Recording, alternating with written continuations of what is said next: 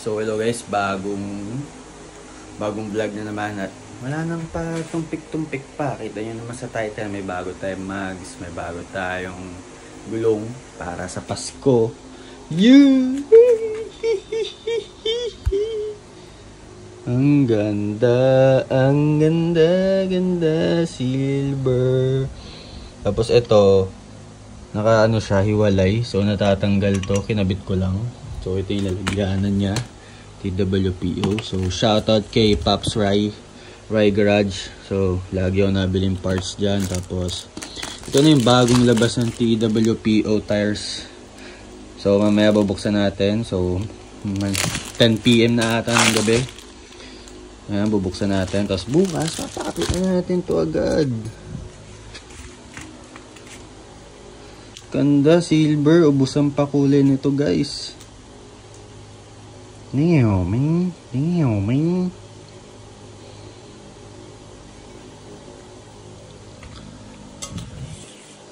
Ganda oh.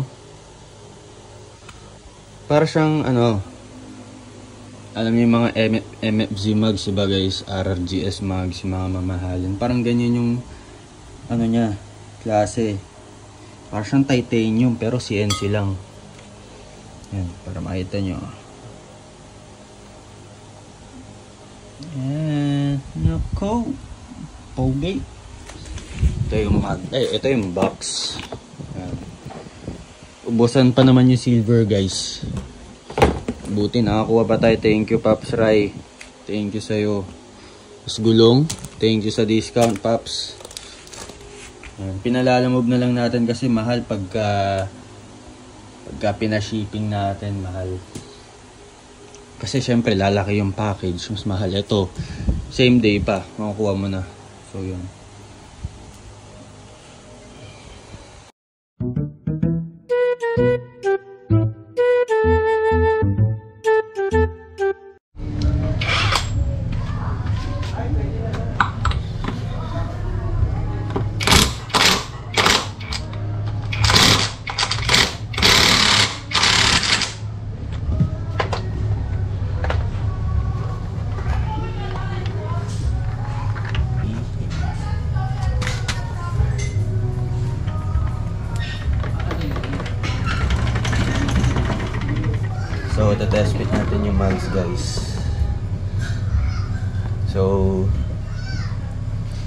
Natin to yung high-tech mug sa DO1 na pula, na white inner.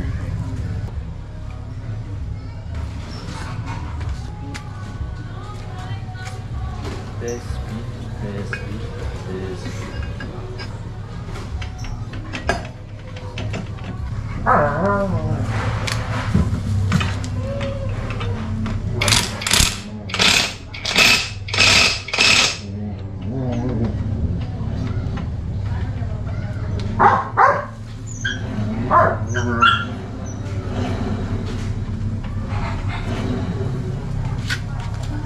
So, bagay ba guys? Bagay ba ang mugs? Kulit naman natin dalawa.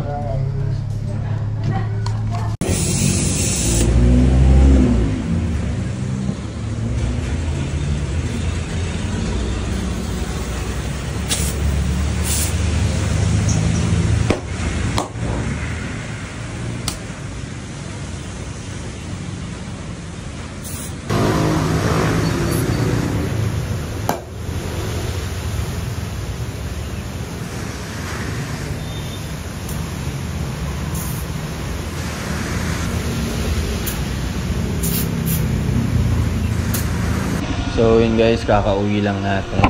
Lalagyan na natin yung gulong. So matatagalan lang tayo sa harap dahil baka magtono pa tayo ng spacer dito.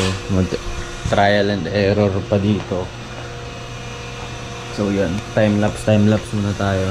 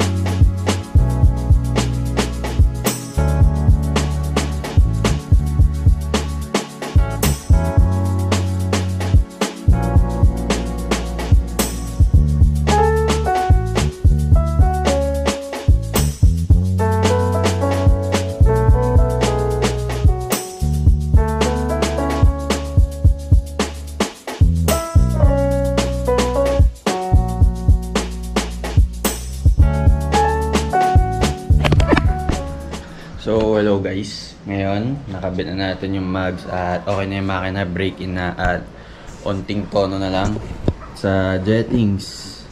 So, ito siya. Grabe no, so lilinisan din natin. Kita nyo naman.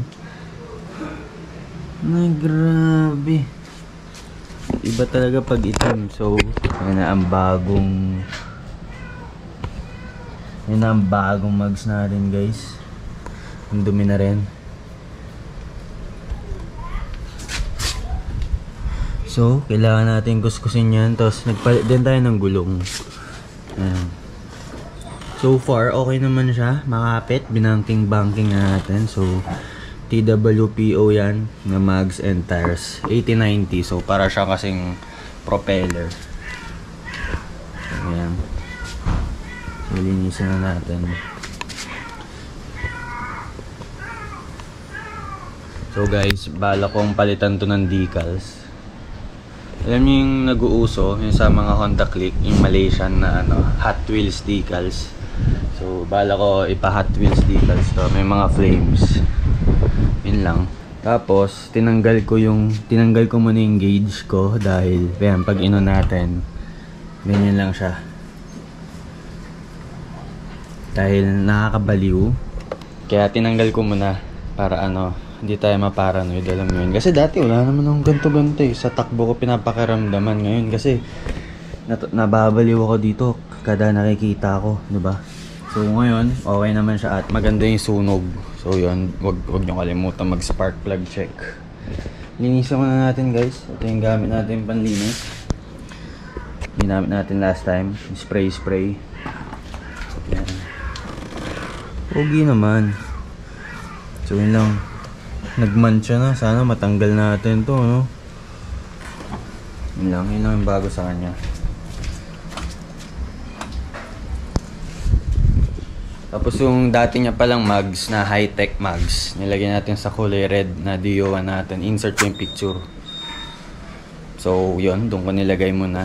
Tapos yung mags nung DO1 na kalesa, nabenta na natin. So, yun. Yun yung Honda Tap. So, yun na lang yung DO dito. DO1, 2, 3 at Honda Tap at Chappy at Pixie.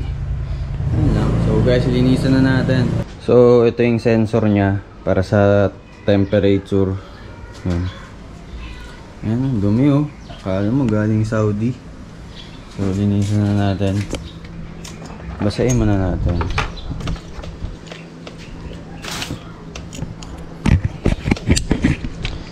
Tagal ko nang di nalilinisan eh. Siyempre, takpan nyo muna yung carb ng plastic ah. Yung plastic na yan.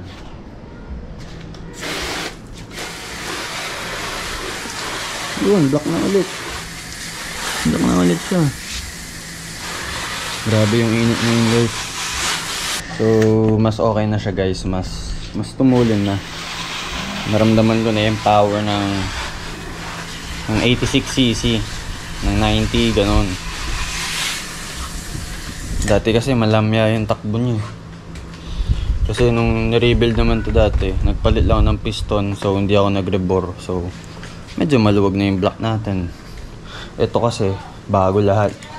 So, masikip pa. So, ramdam mo yung power na wala, bago talaga. Responsive. Ma-RPM, ganda.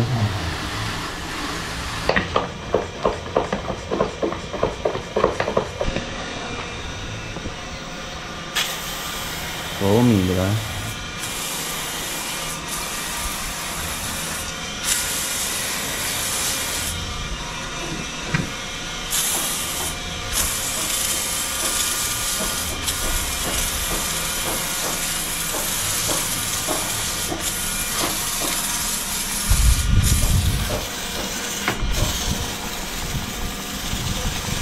Kaya yun, isang isang spray lang, isang sprayan lang. Kaya isang buong dio, isang pump, isang buong pump.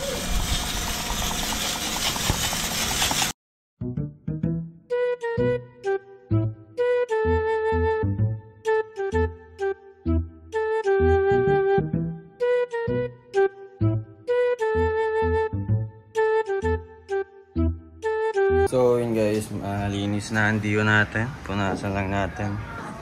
Natanggal na natin yung mga libag. Okay, shiny na siya ulit.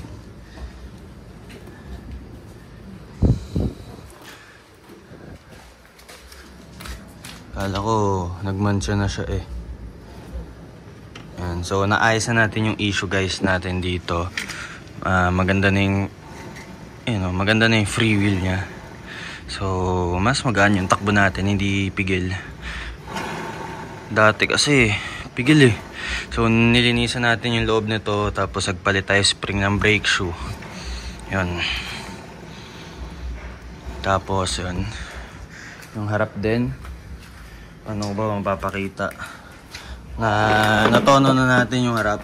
Ganda na yung yung yung pre wheel niya. Yan.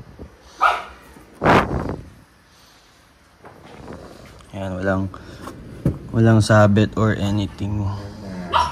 Tsaka ang kapit ng gulong oh. Parang sapatos nag squeak So guys, ito siya sa araw.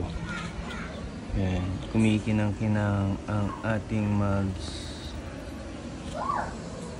Yan.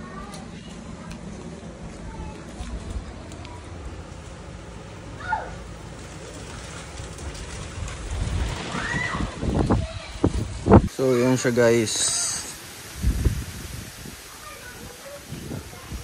Parang wala rin naman nagbago dahil parang silver din yung mags natin. Dapat may kulay yung bibili natin eh. Pero gusto natin simple lang.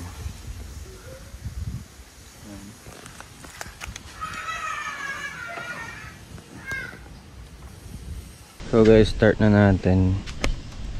Yung gamit nating gas, bago na. Naka blaze na yung gamit natin.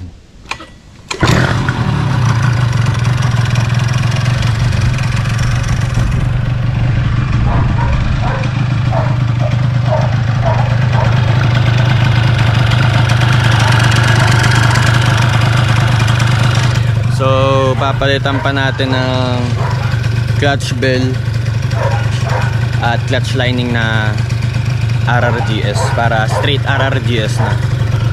Kasi yung torque drive, ay yung tama, torque drive natin naka GISO na. Para straight lahat.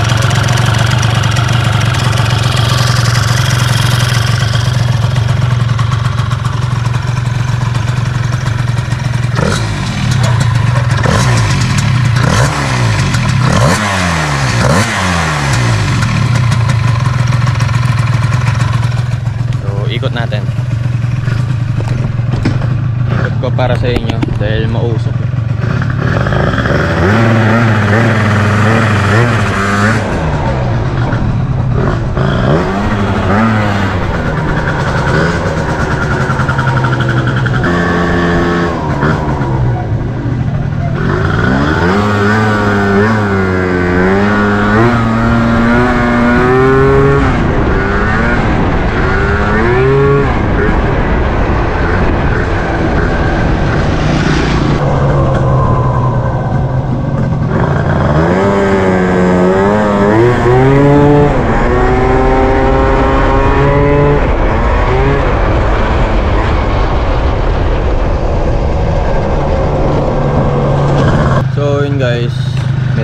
Pa yung panggilid eh.